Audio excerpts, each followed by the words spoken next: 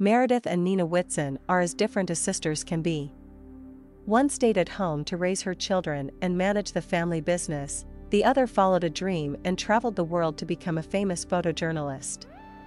But when their beloved father falls ill, these two estranged sisters will find themselves together again, standing alongside their disapproving mother, Anya, who even now offers no comfort to her daughters.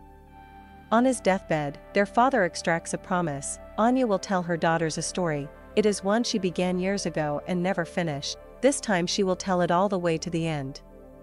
The tale their mother tells them is unlike anything they've heard before, a captivating, mysterious love story that spans more than 60 years and moves from frozen, war-torn Leningrad to modern-day Alaska.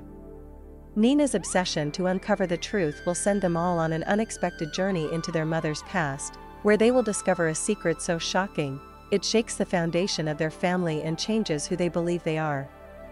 Mesmerizing from beginning to end, Winter Garden is that rarest of novels, at once an epic love story and an intimate portrait of women poised at the crossroads of their lives.